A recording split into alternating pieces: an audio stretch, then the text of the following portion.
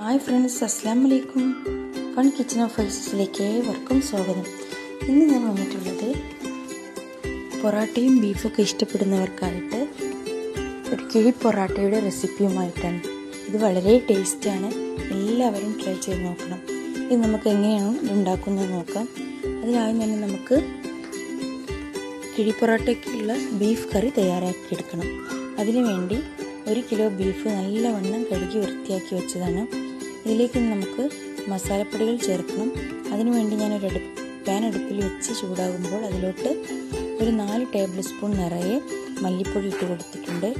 അതിനോടൊപ്പം തന്നെ ഒരു ടേബിൾ സ്പൂൺ നിറയെ മുളക് പൊടി ചേർത്തിട്ടുണ്ട്. മുളക് പൊടി ഓരോരുത്തരുടെ എരിവിനനുസരിച്ച് കൂട്ടുകയും കുറക്കുകയും ചെയ്യാം.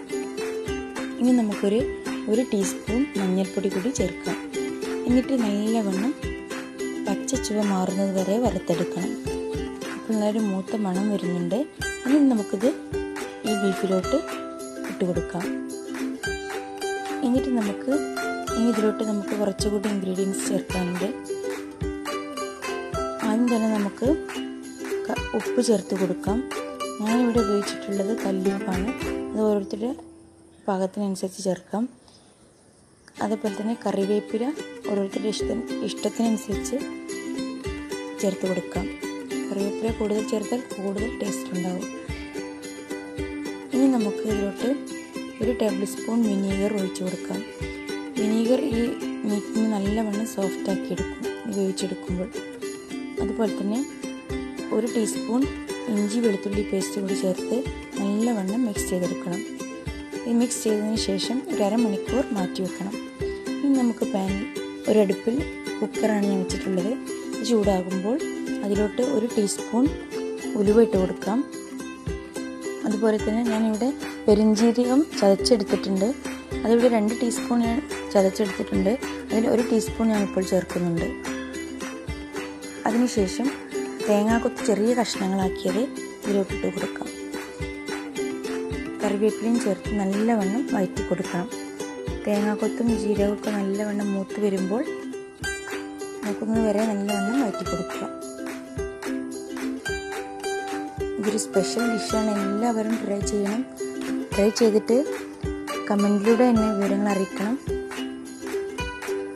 ഇനി നമുക്കിതിലോട്ട് ഒരു ഇരുപത് ചെറിയ ഉള്ളി ചതച്ചെടുത്തതാണ് ഞാൻ ചേർത്തിട്ടുള്ളത്. നിങ്ങൾക്ക് വേണമെങ്കിൽ അരിഞ്ഞെടുക്കുകയും ചെയ്യാം. എന്നിട്ട് നല്ലവണ്ണം ഇളക്കി കൊടുക്കണം. അപ്പോൾ ഇത് നല്ല മൂത്തിട്ടുണ്ടെങ്കിൽ നമുക്ക് ഇതിലോട്ട് എടുത്തു വെച്ച ബീഫ് ഇട്ട് കൊടുത്ത് ഒന്ന് യോജിപ്പിച്ചെടുക്കാം.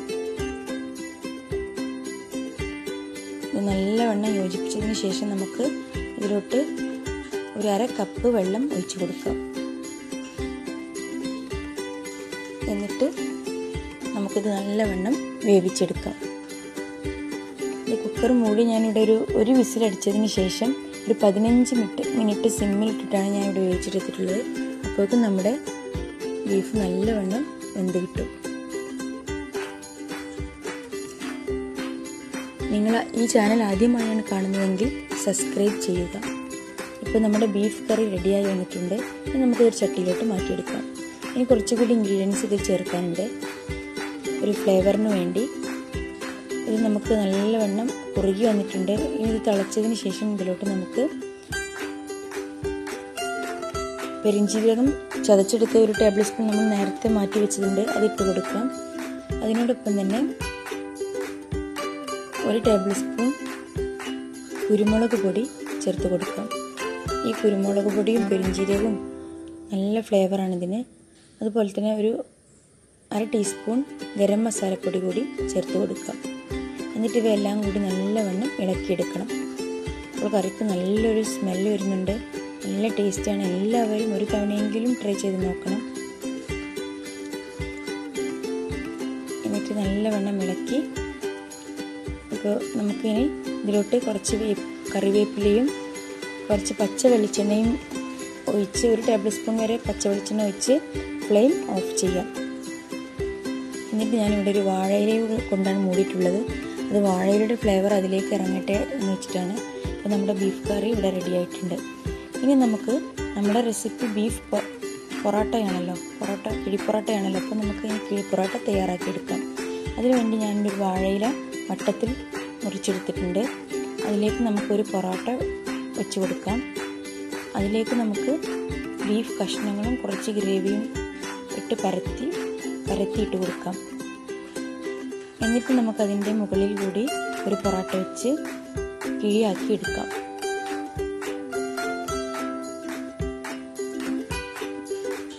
നമുക്ക് കിഴിയാക്കി ഒരു നൂൽ കൊണ്ട് കെട്ടിയെടുത്ത് മാറ്റി വെക്കാം